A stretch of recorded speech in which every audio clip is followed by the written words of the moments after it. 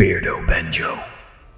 Hello there everyone, welcome back to the channel and welcome to this brand new VR boomer shooter, Shock Troops. I have been loving this game. I've been playing it all week. I just haven't had a chance to get around to making a video for it, so I'm doing it now.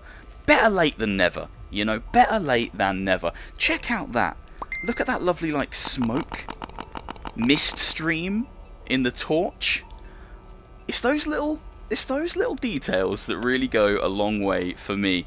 Now you might be thinking, what the hell is a boomer shooter? Beardo, what are you on about? Well, well let me explain. A boomer shooter is basically a first-person shooter that adopts the same or a similar art style and gameplay mechanics as the classic shooters like Doom or Wolfenstein or Unreal or Quake. There's a few modern examples like Dusk or Wrath, Aeon of Ruin. I think it's Wrath, Aeon of Ruin. I played it, I've forgotten the name of it. But those games that kind of appeal to boomers. Basically, older gamers who probably grew up with shooters like Doom, who are looking for those kind of experiences or experiences that are faithful to that now in the modern age. And this is basically one of those built from the ground up for VR.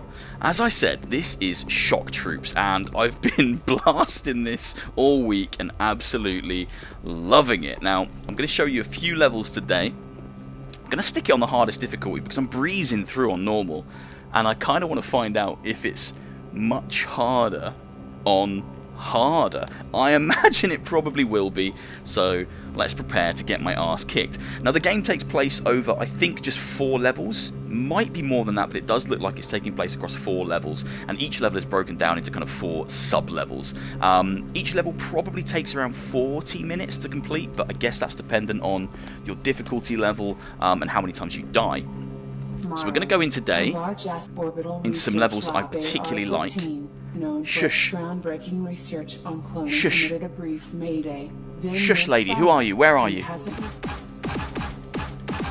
Look at that, target practice king. King of shooting things. Bugger. Okay, so you flick up to reload, so it is very arcadey. But that lends itself to the kind of the speed and the feeling of the game. Um, I my brain doesn't typically go to Doom when I think of boomer shooters. My brain goes to the one that I loved the most when I was growing up, the one that really got me into shooters like this, and that was Alien Trilogy. Alien Trilogy on the PS1 is just select select that, thank you. Um, was just my favourite um, of these kinds of shooters. And this reminds me a lot of that, and I'll show you why in a later level. But let's jump into this level first, and I'll show you what the game's like. We need to signal our position to the shock troops ship, Commander. You will need to recalibrate the four Look at it. of the communication array. It's so cool. It's so cool. I would gladly buy just like tons, hundreds of VR games that look like this. I don't need them to all be the flashiest, newest graphics. I mean, this still looks gorgeous. But it's gorgeous in that boomer shoot away, you know? It's pixels and sprites mixed with a 3D aesthetic. I just think it's so smart, and it works really well in VR, and it's super faithful to those old boomer shooters and new boomer shooters um, that we all love so much. Right, so the gameplay loop is fairly straightforward. I'm running and I'm gunning. It's a lot of strafing left and right. It's a lot of blasting enemies. And it's just a lot of fun. Let's get into it, right. Let's go. Okay, enemies are a bit tankier on hard, I see. Or maybe there's just more of them. Oh, hello. No, I think they're a touch tankier. Hello, son. Come on now. Come on now. Thank you very much. Oh, hello, sir. Hello there. Where are you going with that? That Toblerone. Taking my Toblerones away. I was having a conversation with someone while I was streaming the other day, and they didn't know what a Toblerone was. Right, drop a comment down below if you know what a Toblerone is. Everyone has to know what a Toblerone is, right? Big triangle chocolate you get from the airport. Filled with nougaty goodness. Or is it honeycomb? I'm not sure. Now, I think... I could be wrong. I'm going to test it in a second. Now, I think because I've progressed to later levels, yeah, So because I've progressed to later levels, I can bring the guns I've found in those levels back to these earlier levels. So I do have these ridiculous weapons. I don't know if you can melee with this. It shoots like a big disc. Hold on. Let's find an enemy. Let's find somebody to shoot. Oh, you, will do. It shoots a big disc. But it goes quite slow. Oh, God. Oh, God. Oh, God. No. Okay.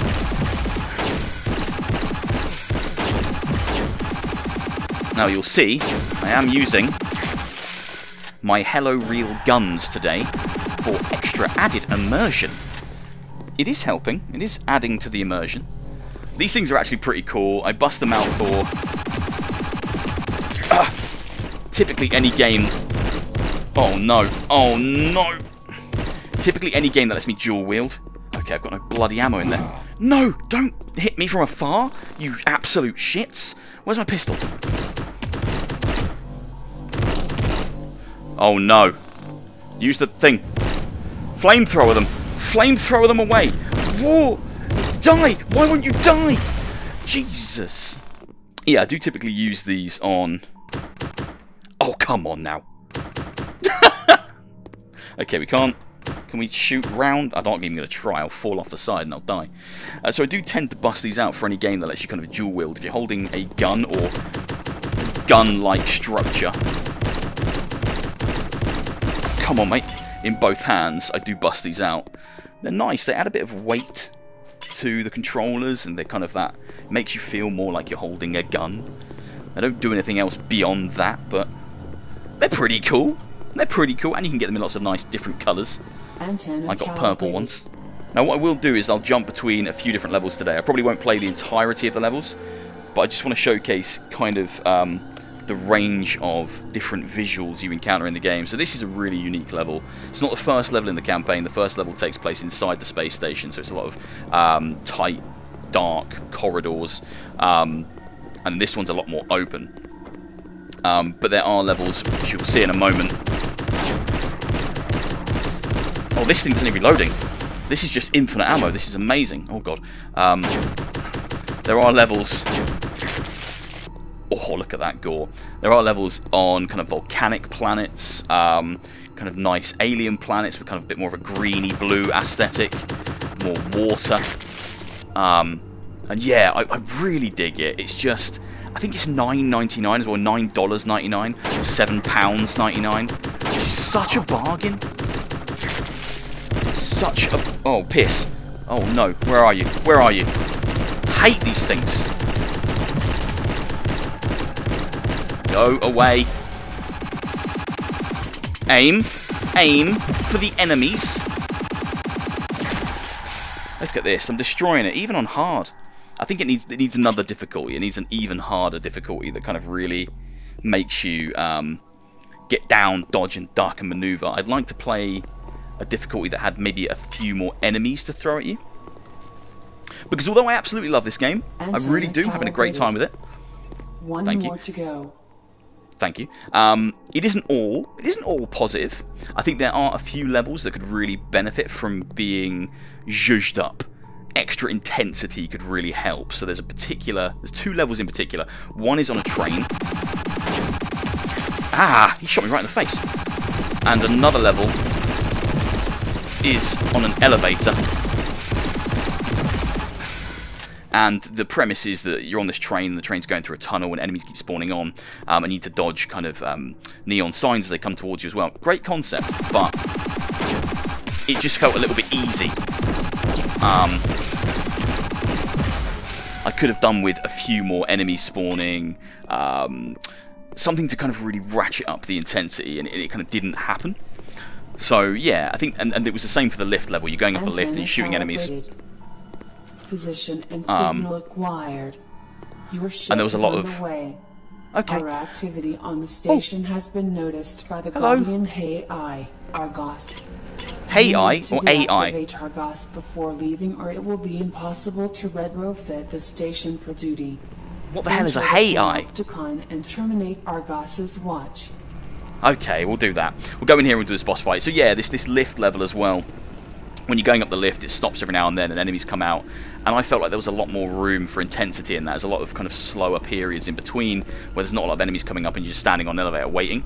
So I think there there could be some fine tuning. Commander, I've been This is a cool little boss fight, though. for Argos weak Hello. points, destroy all his carriers, and they Shield have been self-destruct. We're going to smash this boss so quick. turn off his shield that is powered by the terminals Shield of at maximum. Masticon. Assault ineffective.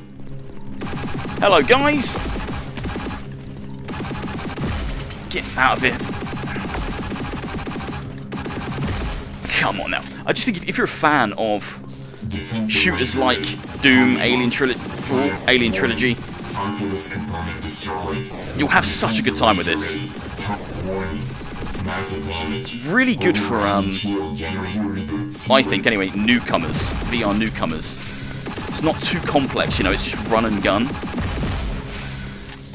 Um, and it does have options for snap turning and things if you're a bit prone to motion sickness, because I'm playing it like really fast, really smooth.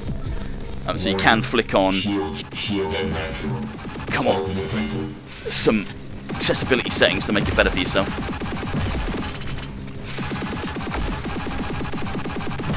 Yeah, it's like a nice basic reload mechanic. I don't, I don't know, I, I just really like the simplicity of it. And it's really nice level of polish as well. Come on. Come on. No! Why won't you shoot anymore? Why are you like this? Come on, come on, come on, come on. Come on. Yeah, even on hard, it's not quite hard enough. I want it to be harder. I want there to be more enemies. I want it to be more grueling. Make it as hard as possible. Firing. Please! Hey! Smashed it. Absolutely smashed it. Easy peasy. Let's do a different level. Now, there does seem to be collectibles to find as well, or things that will upgrade your character, because I found this eyeball symbol on one of the levels, and it now does say vision uh, plus to scan range. And there's a few more kind of markers on him, which I'm assuming are tied to other perks that you can find in the levels. Now, this isn't the only character um, you can play as. He has got this thing on his eye now, which is different. I think that's come from me picking that up. There's two other characters you can play as. There's um, Akisha, and there's Agnostos. Now, Arthur has a, a dash, which I can't use here. I'll use it when I get into the level, but you can do like a quick dash. Um, Akisha has slowing time, which is great, and Agnostos has a shield. So there's different ways to play. Um, depending on the character you play as, you will have different abilities. So a little bit more replayability there if you'd like to play the game through in a different way with different characters. Uh, a very different vibe to this level. Look at it. Seven pounds and ninety-nine pence for this gorgeous little shooter.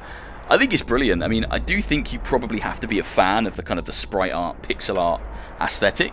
Um, but if you are, j- just you have the best time. It's just such a solid little shooter. And um, I think even if you're not necessarily a fan, I would urge you to try this one. Oh, come on. Because next to playing the classic Doom games and Wolfenstein um, on the Quest 2, thanks to the brilliant um, Dr. Beef ports, this is probably one of the best shooters of this style that you can get on this platform. Hello. And there is some nice enemy varieties we start going through as well. I hate these snipers. Hey, mate.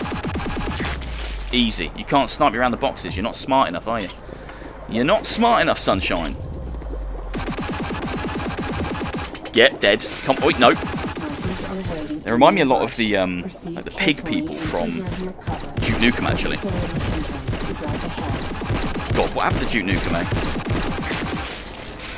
I remember working the midnight launch for um, Duke Nukem Forever, and we played it just before the launch, so we knew it was garbage. You know, we knew it was terrible, and these customers were coming in buying it, and we just didn't have the heart to tell them how bad it was. asteroids down.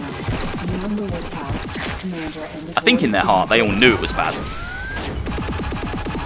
Oh, come on. Cute. Right, we're going to smash this. I love this level. I love the vibe. I love the visual.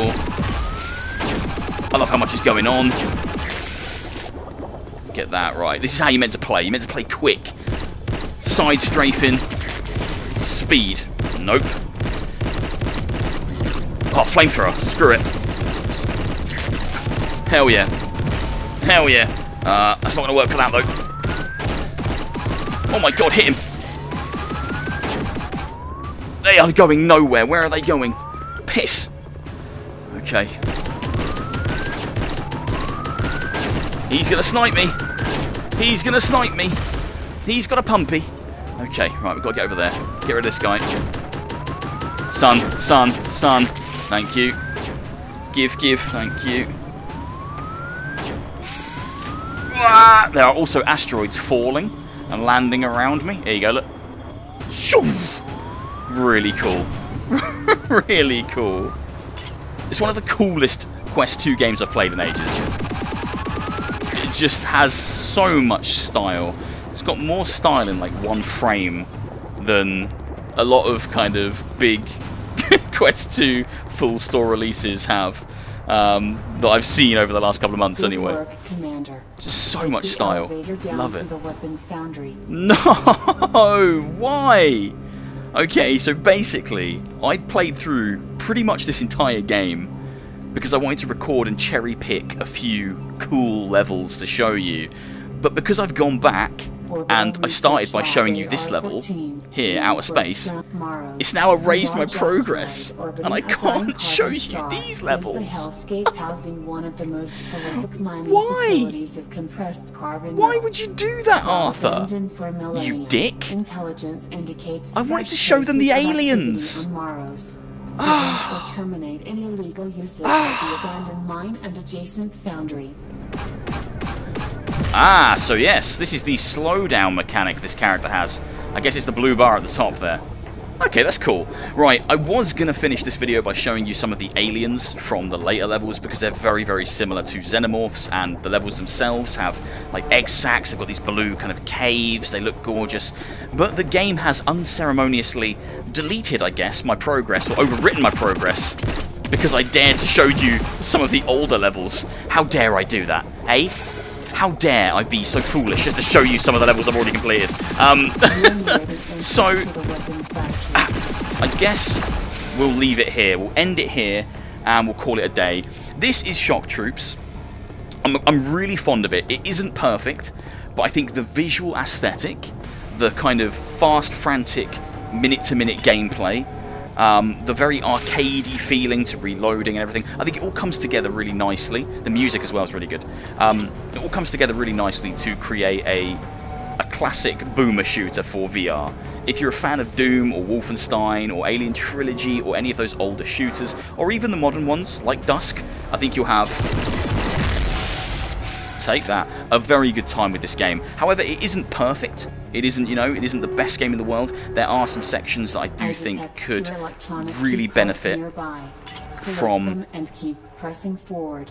shush, a little more intensity. Um, as I mentioned, the train section and the lift section need a little bit more intensity. A few more enemies would really help um, make you feel like you were up against the odds. Um, and then take that, you shit. And then yeah, things like not being able to replay older levels because it it overwrites your progress. that is a bit of a kick in the balls. I'm absolutely gutted that I can't show you the aliens today. I don't have enough time to play through right now. It's quite late already. Otherwise I would. But I would still say come check this game out for $7.99 or $9.99. I think it's an absolute bargain. A, a huge level of polish. Really fun to play. Looks gorgeous if you're into this kind of aesthetic. I, I very much am. And yeah, I'm just having a very good time with it. I hope you've enjoyed, everyone. If you have, please do leave a like, leave a comment, and hit subscribe. And I will see you all very soon ah, for another one. Burn, you sons of bitches. That's it. That's it. Get burnt. Get crispy. Oh, sniper. Sniper. Here we go, sniper. What are you going to do? Yeah. I've gone in the lava. I've gone in the lava. I'm alright. Lava doesn't hurt me, apparently. Um, what's that over there? What's that demonic entity? Hello? Hold on. What's that over there? Just people. Just people. It's fine. Just people. foundry. Whoever reactivated Wow. it is using it illegally. Lovely. We need to Right. find a way to shut it down. I, I will. Don't shush. Yeah, I know. Right, I'll see you all very soon for another one. Take care of yourselves. I'm going to try to reclaim my progress that I've lost. Take care, guys. See you later. I can't get over these boxes now. Oh, there we go. Game's absolutely mugging me off now. Absolutely mugging me off. Take care, guys. Bye-bye.